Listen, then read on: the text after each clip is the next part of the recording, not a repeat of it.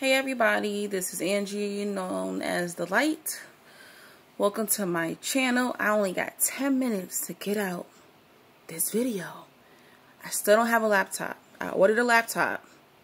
Thank you to the three people that sent me $80 in donations. I never raised the $300. It's all good.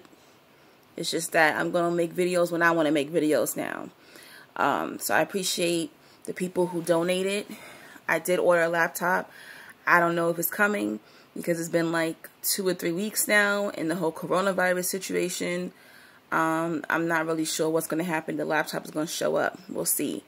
They'll probably end up shipping it to me later or I don't know what's going to happen. Or probably giving me my money back. I don't know what's going on right now because I haven't gotten a shipping um, a shipping um, email or anything like that about my laptop. So, you know, finally got the money to get it and it's missing in action right now.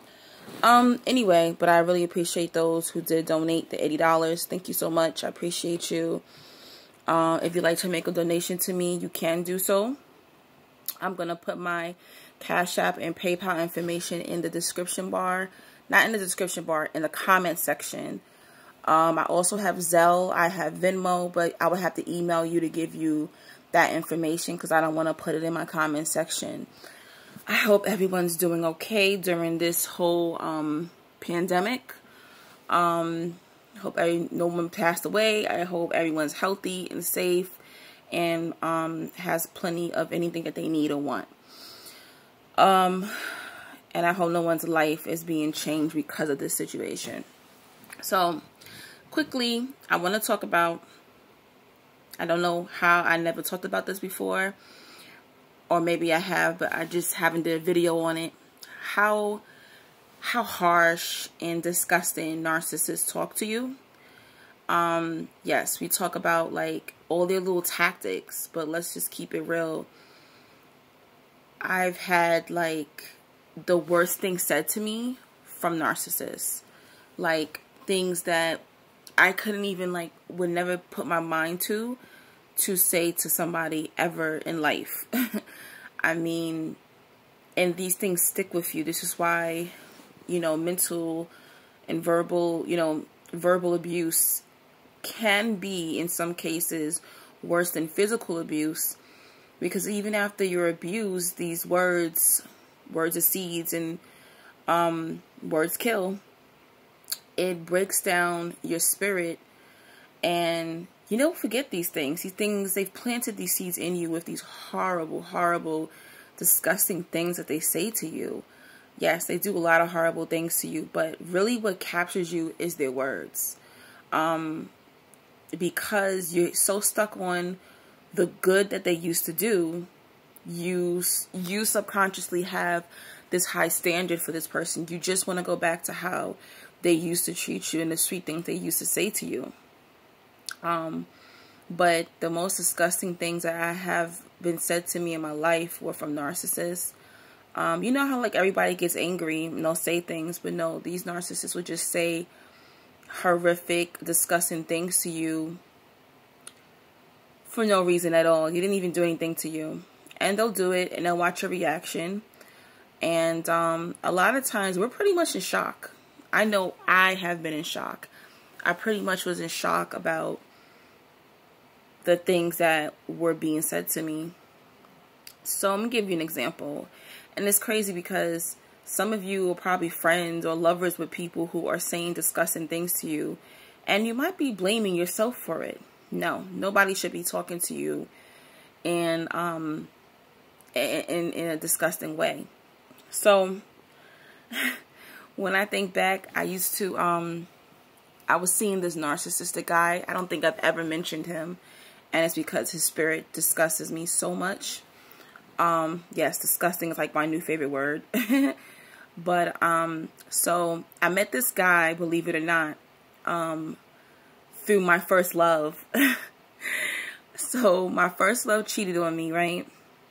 And, um, I don't I, I don't know. I wouldn't say my first love was a narcissist, but he definitely he he was no good. So my first love cheated on me and he happened to have like a New Year's Eve party. This is like before we um ended up breaking up, and there was a guy who came to his party who happened to be from his neighborhood. They weren't friends, but his sister invited the guy over, and that's how I met this guy. So after I broke up with my first love, I ended up seeing this guy that I met at the party, okay?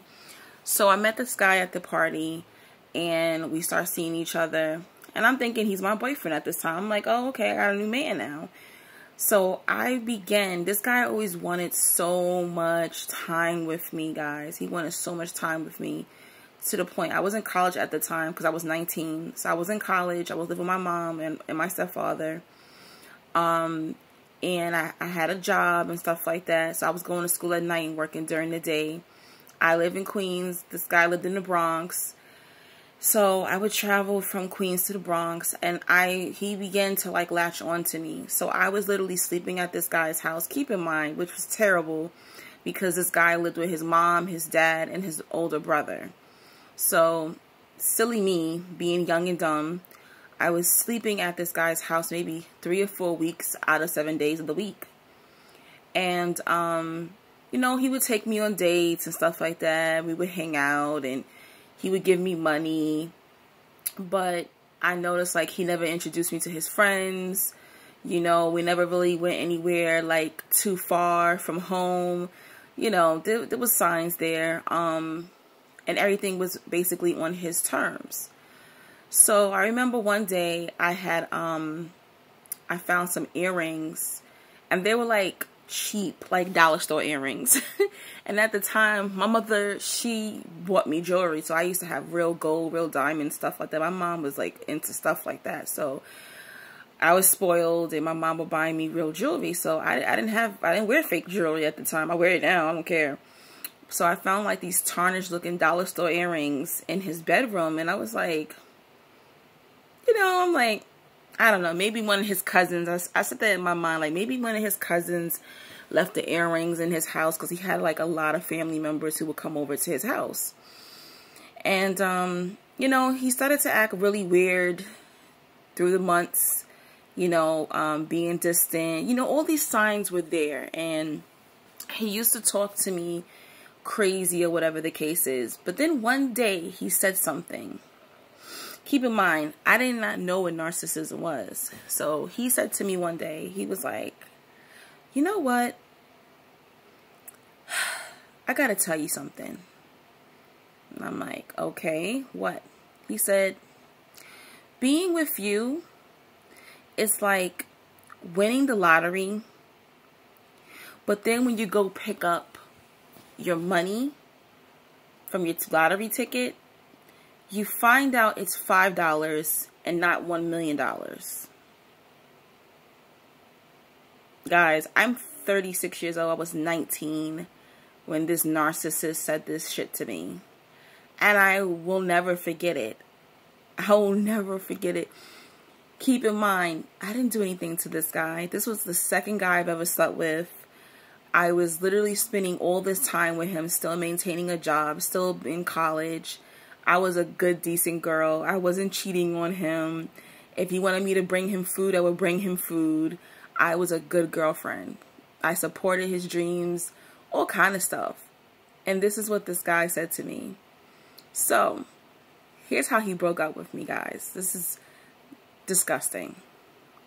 So instead of telling me he's replaced me, he's found another supply, right? While we were having sex.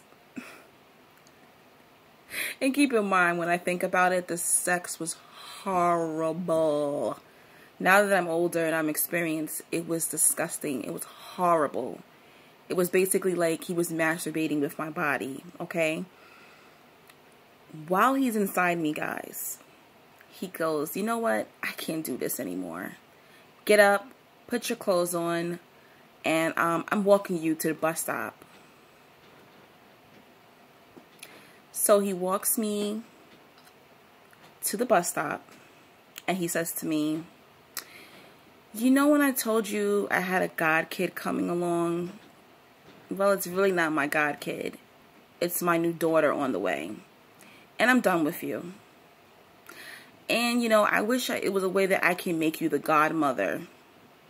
Guys, this guy was the worst narcissist. I mean, just, just, just disgusting. Don't let people talk to you like this. Don't let people treat you like this. And I tell y'all these stories not for y'all to feel bad for me because I know some of you ladies or some of you men have had these horrible things said to you that broke your spirit and your confidence. You are worthy to be loved. I'm running out of time. My camera's going to